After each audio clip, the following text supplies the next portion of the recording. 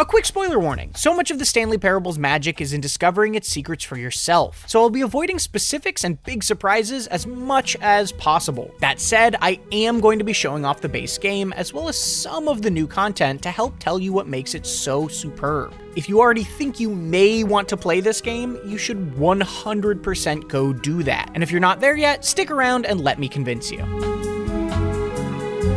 Ah, 2013, the year the Stanley Parable was released.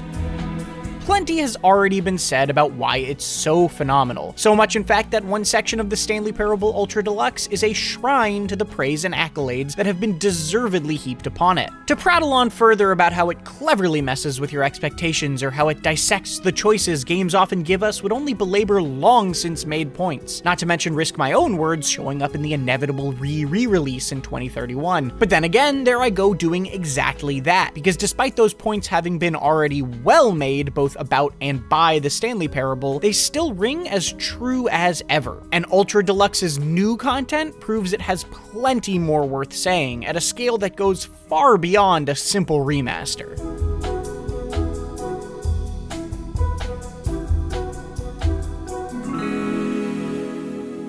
The Stanley Parable is a surreal adventure game at its heart. You play Stanley, wandering the halls of his office as a narrator brilliantly voiced by Kevan Brighting instructs you on where to go. When Stanley came to a set of two open doors, he entered the door on his left. Of course, the now thoroughly interrogated gag here is that you don't have to listen to him at all. This was not the correct way to the meeting room. The office is a labyrinth of paths to choose from or stumble upon, each choice sending you further down its branching tree of hilarious stories and toward one of its countless endings. Every journey is full of jokes that had me genuinely laughing out loud, framed within a constantly winking satire of how games are traditionally supposed to behave. That could be mundane things like getting to ignore the supposedly correct path Stanley walked straight ahead through the large door that read Mind Control Facility.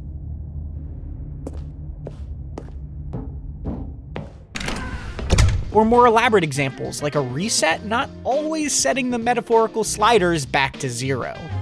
When Stanley. Wait, what? No, I restarted. I swear I definitely restarted the game over, completely fresh. Everything should be. Or did something change? The Stanley Parable Ultra Deluxe may bill itself as a long-awaited console port with some nicely improved lighting and a bit of new content, but that last part is, shall we say, significantly understated. When you first start it up, Ultra Deluxe asks you if you've played the original before, and developer Crows Crows Crows stressed to me that it's important to answer this question honestly. Ultra Deluxe is still the original Stanley Parable, and if you haven't played that, then it's one of the easiest recommendations I will ever make. But if you have, this re-release offers far more than a literal trip into the memory zone. Given how many secret paths and hidden endings the Stanley Parable contains, it's hard to tell exactly how big the new content in Ultra Deluxe really is, but I feel confident saying it's comparable to the original with at least 4 to 6 hours of new stuff to see. There's essentially an entirely new game to play through here, and the idea that it's being presented as anything less is probably one of its best gags. Some of Ultra Deluxe's content takes place in brand new areas that pretty much feel like a straight up sequel, while other editions play out as remixed or altered versions of Stanley's usual paths through the office. I don't know for sure, but I assume the question about whether you've played before determines how early this door shows up. Oh, new content? What does that mean? new content. While the Stanley Parable pokes fun at games as a whole, it seems only right that Ultra Deluxe shifts its gaze towards the concept of sequels, expansions, and DLC, as well as some pointed self-reflection about both the original game and its wider reception. I don't want to get into the specifics, but the new writing is no less clever, insightful, or funny than the old, and the way it all meshes together is a pretty brilliant take on an extremely difficult task. Stanley, it's a collection of reviews from Steam.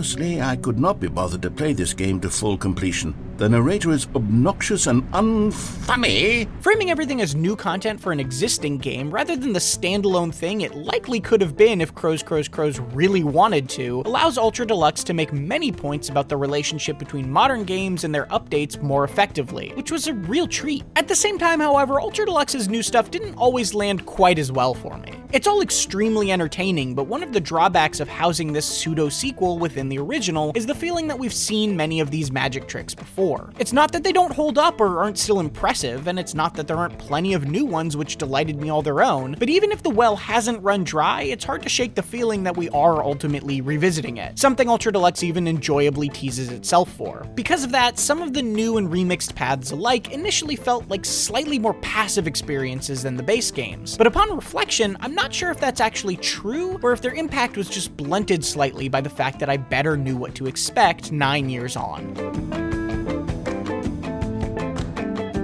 The Stanley Parables base game truly holds up almost a decade later, both in its hilarious narrated writing and the clever satire that houses it. Ultra Deluxe may seem like little more than a decent lighting improvement and a simple console port at first glance, but the new content that's been added alongside those things is on the scale of a whole new game. Those new encounters are consistently impressive and always entertaining, even if the feeling that we've seen some of these tricks before means they never quite reach the heights of my first surprising playthrough back in 2013. But if you've never played the Stanley Parable at all, Ultra Deluxe is a definitive version that provides another extremely convincing reason to do so. For more, check out our early access review of Dune Spice Wars, or our VR review of Moss Book 2. And for everything else, keep it right here on IGN.